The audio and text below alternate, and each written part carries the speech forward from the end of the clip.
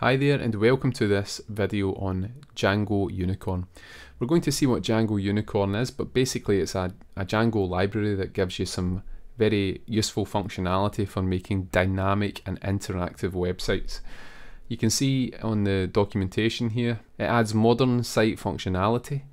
You can quickly add interactive elements to Django templates and you can skip all the JavaScript ecosystem, the build tools that you get in things like React.js and Angular. This is kind of a purely Django and Python oriented way of doing reactive websites. So it's quite useful and we're going to dig into what this library offers in this tutorial. So I've prepared a, a blog post as well and we're going to work through some of the concepts in this blog post and then we're going to create a web application that allows us to create a Django Unicorn component and we're going to see what that means and how to do that in this tutorial. So the objectives are to learn about Django Unicorn um, and also to build a small movie list component. And with that, you're going to be able to add movies to a list and delete movies from a list. So we're going to see how to do that later on. A quick deep dive here, there are some central concepts in Django Unicorn. One of them is components. Now these are kind of similar to components in React if you know that. Um, they basically allow you to define some contained functionality um, in a Python class and they interact with the template. And that's another part of the core components of Django Unicorn. You have the component templates. So every component class has an associated template that renders the HTML and it can be changed in ways that are kind of similar to how it's done with React and Angular. So we'll see a bit more about that later on. You also have a concept of actions, which are events that occur in the user interface. For example, a change event when an input element changes when you're typing into a text field. A key up event for that for that one as well. You may have a click event when a button's clicked. These are all called actions in Django Unicorn. So any DOM event can be supported. And finally, you have native integration with Django models and query set objects. So we'll see more about this um, as we go on in this tutorial. Let's now get started with the setup. What we're going to do is we're going to create a movie list component and we're going to create a Django project from scratch here with these commands. So if I copy that, and what I'm going to do is go to the Visual Studio Code editor and we can paste that command in here. It's going to start a new project called movie list.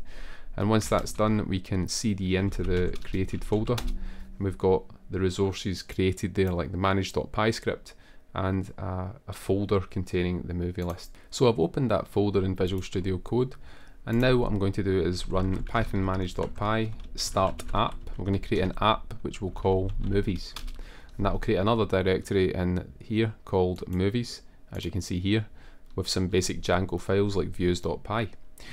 Next thing I want to do is pip install Django Unicorn and this is the library obviously that we're going to look at in this tutorial. So that should install that and that might take a second. And once that finishes installing, what we need to do is go to our settings.py file and I'm going to remove this comment and we're going to add to the installed apps both the, the movies app that we created and also this is important you need to add Django Unicorn to that installed app. That will register as an installed app and what we're now going to do is create a very simple model in Django. We're going to call it movie. Inherits from models.model. It's going to have a single field, that's all we need for this introductory tutorial and that's going to be a char field and it's going to be the name of the movie and that requires a max length, let's say 128. So we can store the name of the movie for example The Godfather or any other movie in this field and I do need to spell length correctly. That should do the trick. And now what we're going to do is we're going to run make migrations and that will uh, create the migration for the movie model and then we can migrate. And that will create the database, the SQLite database. So the next step I want to do is within our movies app we're going to create a templates directory and that's going to contain a very simple index.html file and I'm going to copy and paste some code in here and this is going to be used as the index.html file. So what we have at the top is a special uh, Django load command. We're loading the unicorn tags uh, into this template. Now that's important if you want to use Django Unicorn, you need to load the template tags. And then down here we are referencing a particular template called movie list. Now this template doesn't exist at the moment, but we are going to create it in a minute. And you can see that the body of this HTML is very simple. We have a CSRF token for security purposes, and we have a very simple div here which contains a bit of text. Then there's a main tag which contains the unicorn component. So now we need to uh, build that component. And one of the things that Django Unicorn provides is a, an actual manage.py command, a management command. So I'm going to run manage.py and the name of the command is start unicorn. So start unicorn and then we provide two arguments to the start unicorn command. The first one is the app where we want to create this component and the second one is the name of the component and I'm just going to call this movie list. So if we run that command, you should see some successful output here. And within the movies app, we now have a new directory called components, which contains a file called movielist.py, which is the same as this movie list component here. So we now have a movie list component that we can look at, and we see that it's just a normal Python class that inherits from the unicorn view. So we're going to build this component in a second, but first of all, we're going to create a very basic Django view and it's going to be a template view. So I'm going to copy paste the import. And what we can do is we can create a class called movie view. And this is going to be for viewing the movies in the application. That'll inherit from template view and we can then set the template name attribute to be equal to index.html which we've just created. And now we need to create a URL for this view and we also need to wire up Django Unicorn's URLs as well. So let's see how to do that. We're going to create a urls.py file within our app and then we can go to the project URLs file and we can include those URLs so we need to import include from django.urls and then we'll set up a path to um, those URLs now. Just a basically an empty path will be sent to movies.urls. So within our urls.py file now within the app, what we can do is I'm going to do a couple of imports and then we can set up our URL patterns. The first one is going to go to the unicorn endpoint and what we're going to do now is we're going to include again so I need to import include actually I already got it there we include the Django Unicorn app that we've now got in installed apps dot URLs. That's um, an attribute on that. So that'll include all the default URLs for Django Unicorn to do its processing. And we also are going to set an empty URL here which will take the movie view that we've just created and render that as a view. So that should be all we need to do. So now we've got that URL, what we can now do is actually build out a component for showing and displaying movies on the page. So we're going to build the component now and what we're going to do is go to the component template. Now the component that we got here um, is a class. So you can see that here, it's a class in Python. But we also have in the templates directory, we've got an, a unicorn subdirectory within there with our movie list components HTML file. Now this is the component template that we're going to edit. Um, now one important thing to note is that the template code has to have a, um, a single parent attribute um, so you can't have like a div and then an h2 down here or something like that. No, you need to have a single parent component so we'll put the component code within a div and again, this is quite a lot of HTML, so I'm going to copy paste it and then we can look through the code. So I've pasted that in there. What we've got is a header tag saying movie list and then a very simple line break. And below that we've got some unicorn directives. Now let's walk through what these are. We want to allow an, a user to enter a new movie.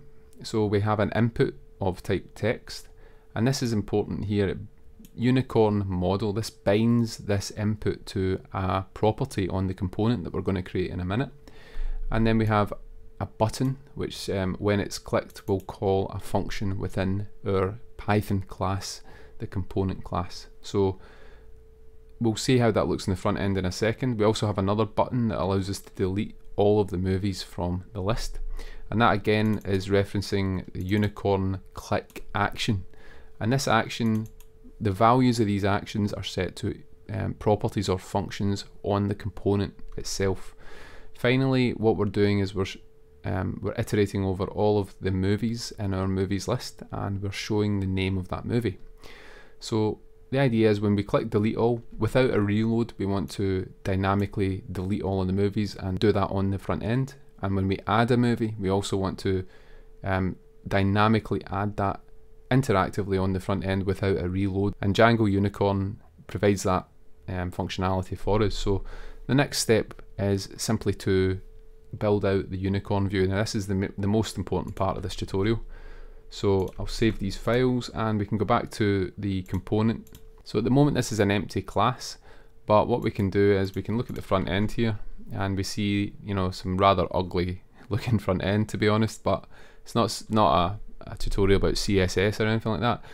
What we can do is when we type in here, and you can see some post requests have been sent when you type in. But if you look at the the template for this component. It's of type text and it's bound to an attribute called name on the class. So we need to create that attribute.